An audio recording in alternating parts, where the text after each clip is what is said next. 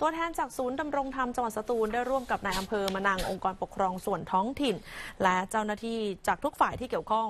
ลงพื้นที่ตำบลปามพัฒนาอำเภอมะนังจังหวัดสตูล หลังจากชาวบ้านแจ้งว่าในพื้นที่หมู่ 3 หมู่ 5 และหมู่ 6 ได้รับความเดือดร้อน เนื่องจากว่าน้ำประปาภูเขามีสีขุ่นแดง ไม่สามารถนำมาใช้อุปโภคบริโภคได้ เกรงว่าจะมีการบุกรุกทำลายป่าและลักลอบขุดดินบนเขา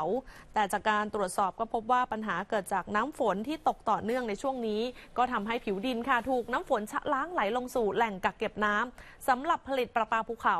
ซึ่งก็ไม่มีระบบกรองค่ะทำให้น้ำมีสีขุ่นแดง ล่าสุดค่ะตะกอนโครนในน้ำเนี่ยเริ่มเจอจางแล้วนะคะ เนื่องจากว่าปริมาณฝนที่มากขึ้นก็ทำให้แหล่งกักเก็บน้ำเนี่ยมีน้ำเพิ่มขึ้น คาดว่าไม่นานนักเนี่ยน้ำประปาภูเขาก็จะใช้ได้ตามปกติค่ะ แต่เบื้องต้นเนี่ยได้ประสานกับองค์การบริหารส่วนตำบลปามพัฒนา ออกแจกจ่ายน้ำใช้อุปโภคบริโภคให้กับประชาชนในพื้นที่ เพื่อบรรเทาความเดือดร้อนร้อนจนกว่าน้ำประปาภูเขาจะใช้การได้ตามปกติค่ะ